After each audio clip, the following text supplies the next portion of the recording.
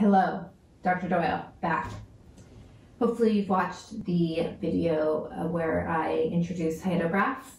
Today, in this video, I'm going to talk a little bit about how to use hyetographs and how to develop what are called intensity, duration, frequency curves, which look like this. So, we want to be able to use our precipitation data, uh, observed data, to predict design storms. And then as water resource engineers, we use these design storms to help guide our design.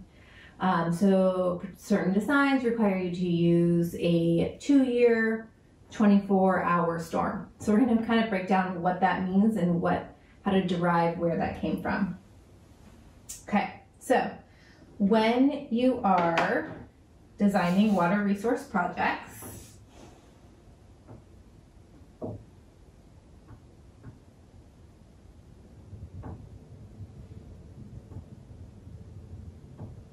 And again, when you think about these water resource projects, think back to those four questions that I introduced at the beginning of the quarter. So we're talking about how much water, where the water is going to come from that we need, where the excess water is going to go. So when we're designing uh, water resource projects, the only way that we can do this design is to have some estimate for how much uh, precipitation to expect. So in order to do that, we use historic data.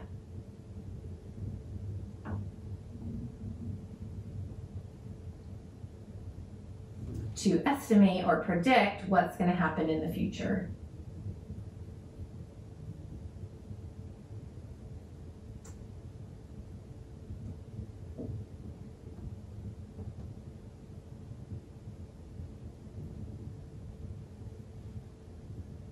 So again, when I say this, an example, I might be designing for a 100 year, 24 hour storm.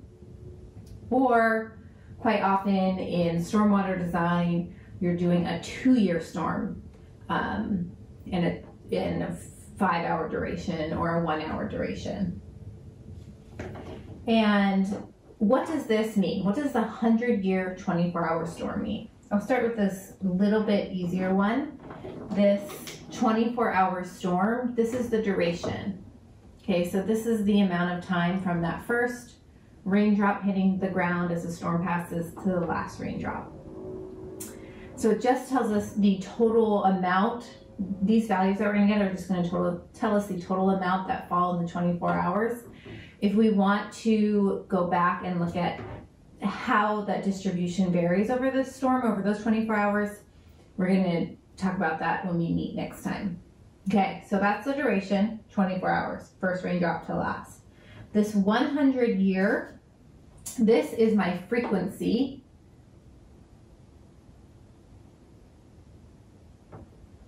Or probability of that this is going to occur, some probability. And what this 100 year storm mean means a 100 year storm has a 1% probability of occurring.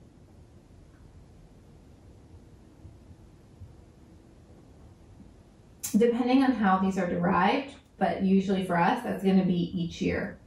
So each year you have a 1% chance or 1 over 100. That's where that 100 year storm, 100 year value comes in um, of occurring. So our frequency, when we talk about frequencies, is equal to 1 over the return period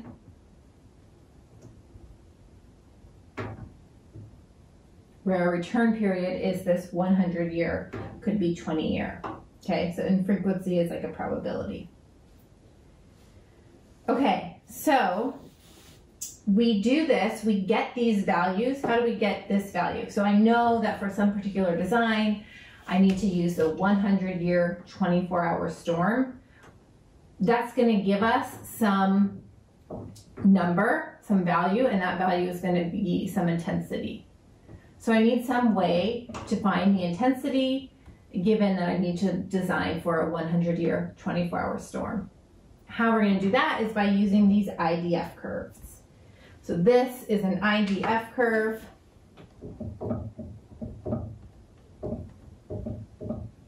which stands for intensity, duration, and frequency. So it has all three of those represented in this figure.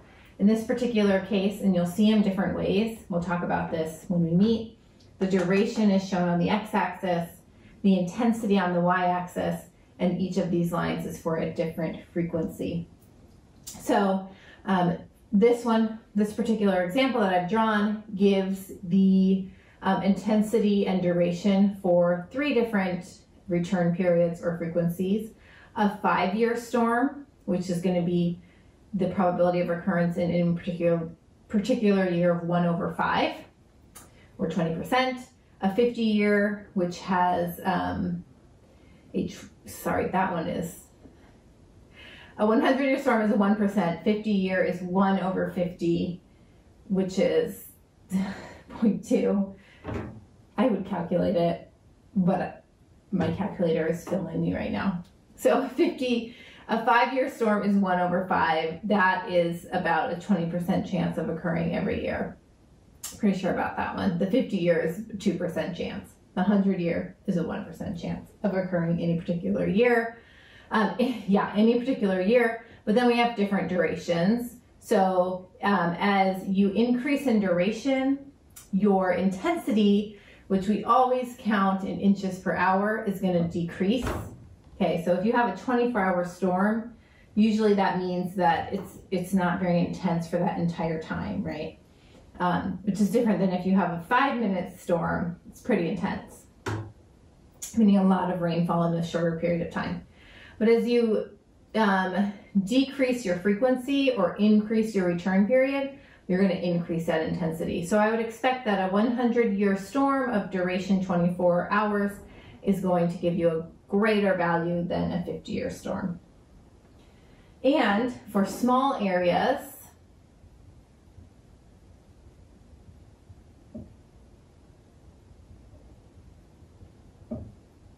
approximately 10 square miles, we can, with one gauge, with one rain gauge,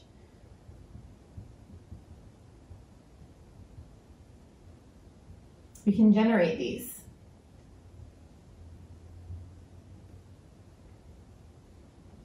IDF curves. And I'm going to show you how to do that.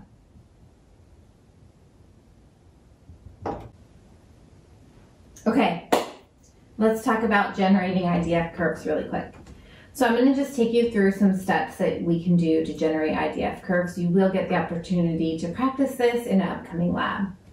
So I've drawn down here just some example data. So let's say that you are able to get these hyetographs for different duration of storms. So here's five minute, a 10 minute, a 30 minute, and a 24 hour for different years.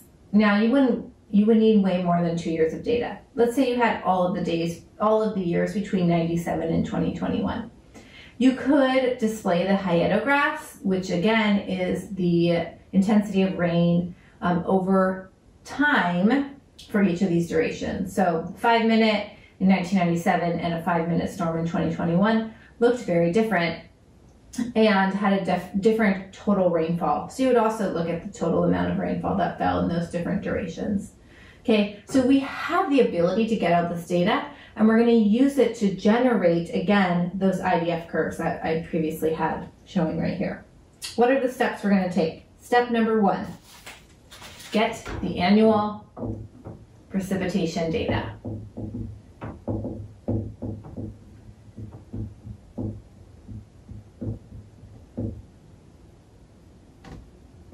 Okay, so we're going to look up some gauge sites and we'll talk all about gauge sites coming up here.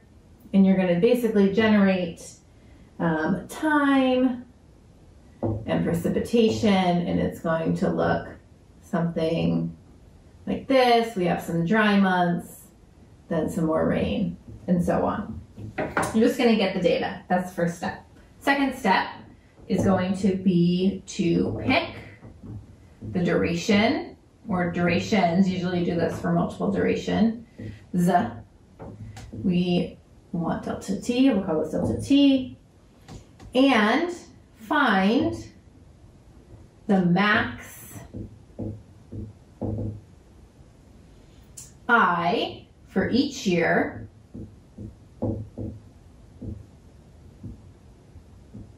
for that duration. So in my example below, I'm gonna look at every five minutes increment where it rained, and I'm gonna find the maximum in 1997 of five minutes. I'm gonna record that value, okay? I'm gonna do the same in 1998, 1999, all the years until 2021, finding the maximum total precipitation that fell in the five minutes, okay? There we go. Then repeat for 10 minutes, repeat for 30 minutes, 24 hours, all the durations I'm interested in. Step three is going to be to set up a table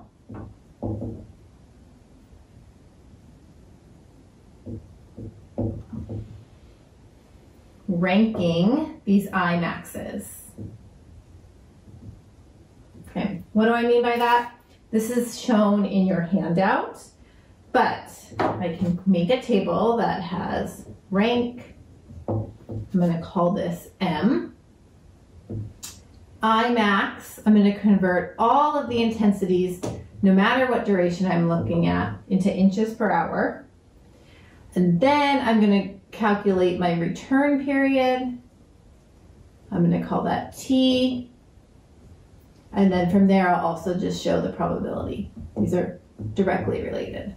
Okay, so my rank, I'm going to rank them from highest to lowest. Highest, lowest. Okay. So let's say that in year one, um, let's say I'm looking at a duration here of um, 24 hours. Okay, so let's just say I'm looking at my 24 hour data.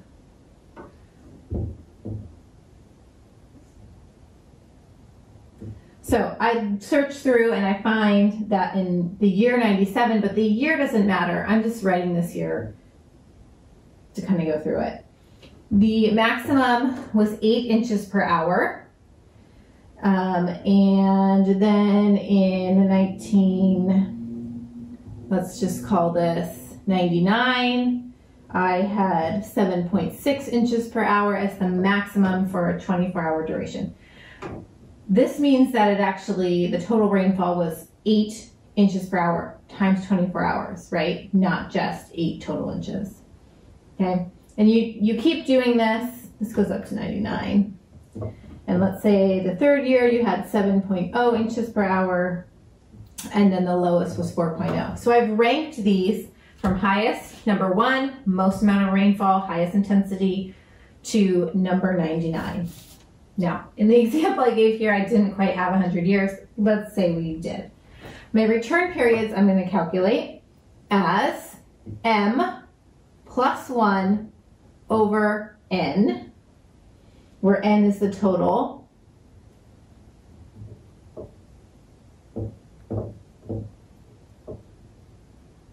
Sorry, 99 plus 1, the total, divided by the rank. This is 100. This is my 100 year storm. This has a probability of 1 over 100, 0.01.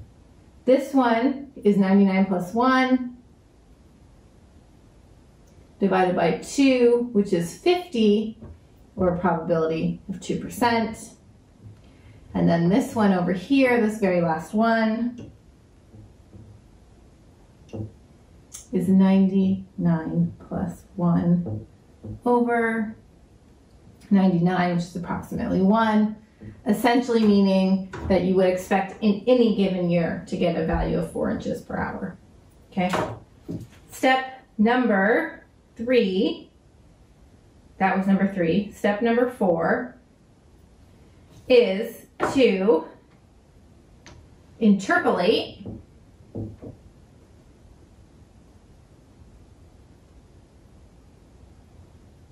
from this table to get the return periods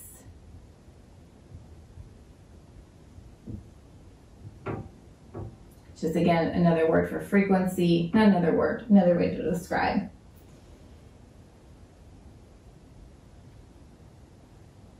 Okay, so for example, you might want a 20 year storm, but it may not show up in here, so you might have to interpolate. Step five is to repeat